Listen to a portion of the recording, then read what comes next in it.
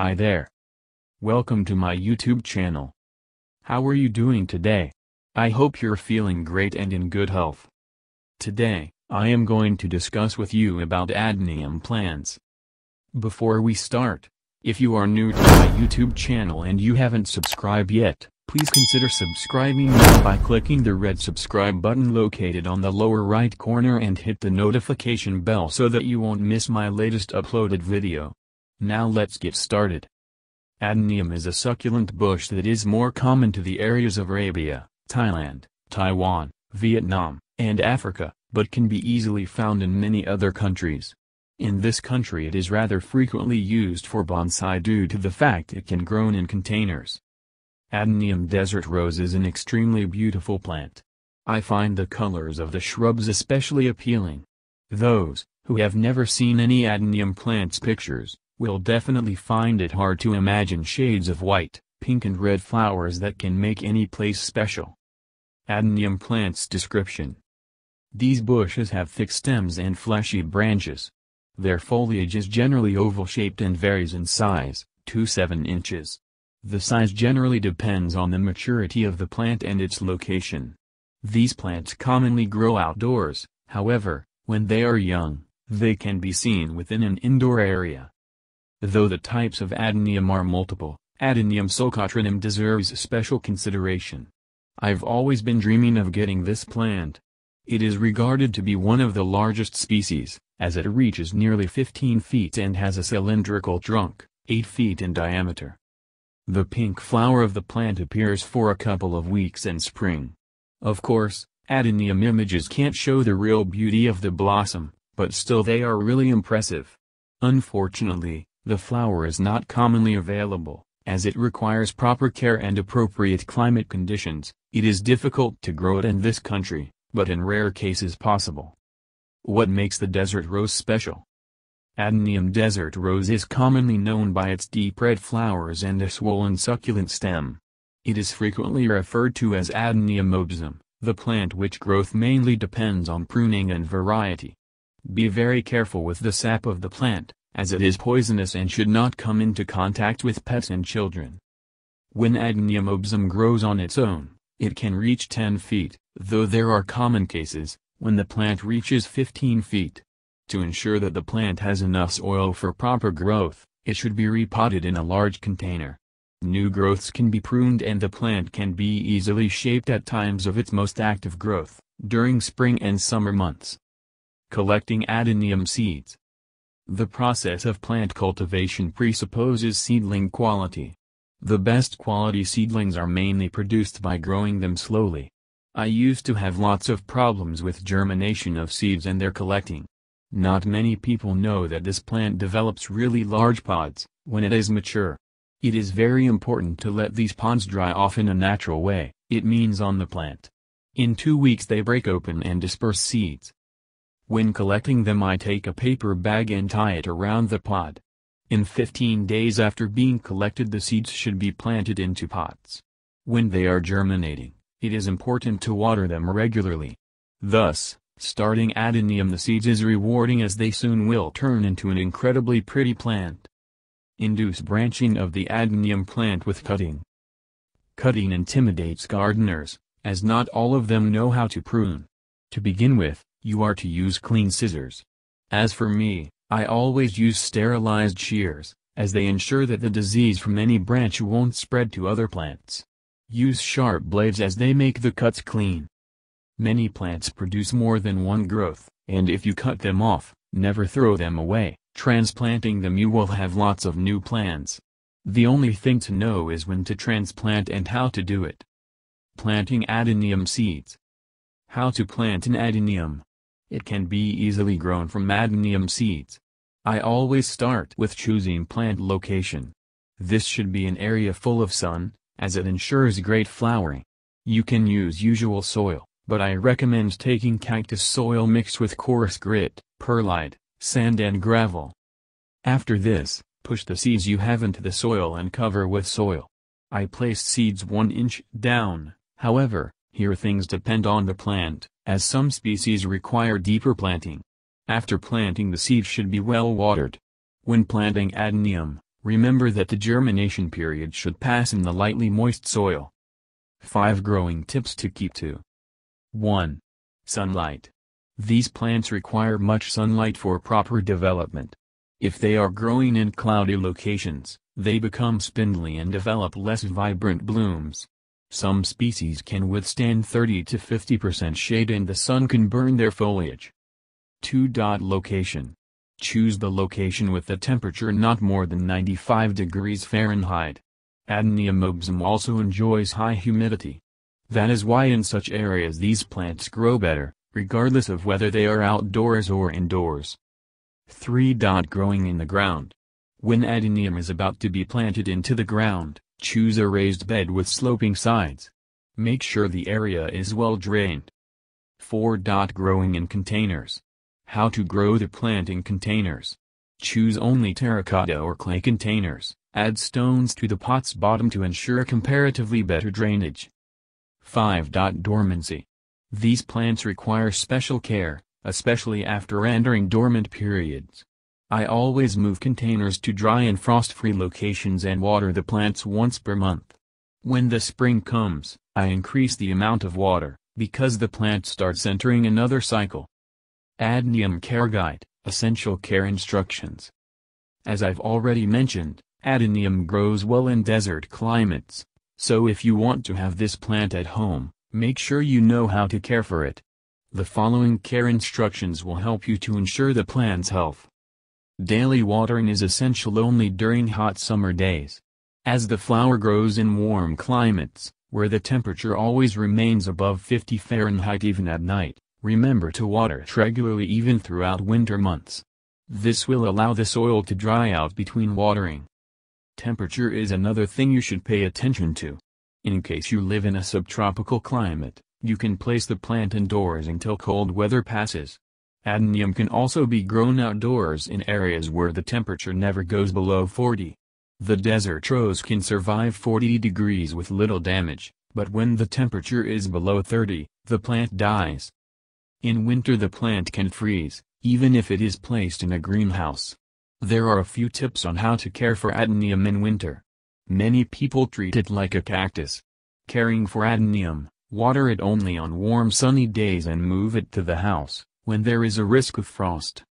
The cultivar of Adenium arabicum Adenium arabicum is the species with a huge caudex, large leathery foliage and spectacular pink, sometimes white flowers.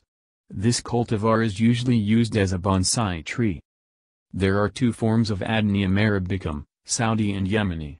They differ in height, the size of the blossoms and the period of flowering. This plant will make a true adornment of anyone's collection. Adenium arabicum that was started from the seeds can have an unusual shape of the caudex and if the cultivar is more than 10 years can be worth more than US $1,000. The most commonly seen diseases and pests. Spider mites are pests that can occur on leaves and branches. They lead to leaves curling and are extremely harmful. To prevent their occurrence, it is essential to keep the plant free of dead plant debris and place it in the area with plenty of moving air. Mealybugs suck sap and nutrients from plants and usually become the main cause of slow growth. However, they are easily removed with strong water spray. Though there are many different diseases that lead to various problems, I've personally faced only one, stem rot. This disease causes decaying of the plant's inner layers, spreading very quickly during cold days. However, when the plant has survived its first winter, stem rot is no longer a problem. If you keep to all these rules and instructions, you can consider adenium propagation through seeds and cuttings, but make sure you have enough place to hide your plants when it is cold outside.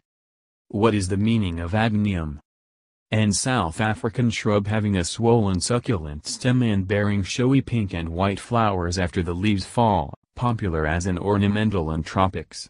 Synonyms, Adenium multiflora, desert rose, impala lily, kudu lily, Mock azalea type of bush, shrub. Is adenium an indoor plant? The various adenium the species are succulent plants that can be grown in our climate, either indoors or outside. They produce flowers that are truly spectacular for container-grown plants, Adenium are desert plants native to the dry areas of Africa. As such, they can handle our heat and dry air quite well. Is adenium poisonous? The adenium aka desert rose is included in the list of plants considered dangerously toxic to humans, dogs, cats, and horses. The plant is known to contain potent toxins which if ingested in large amounts can turn out to be lethal. Is adenium a bonsai?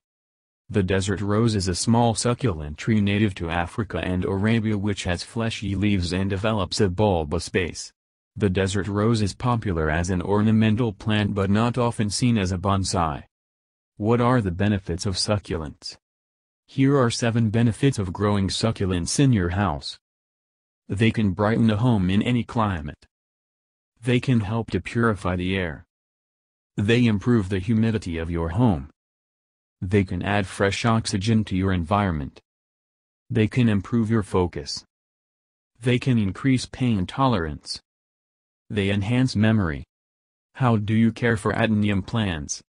Adenium obesum care, growing the desert rose plant.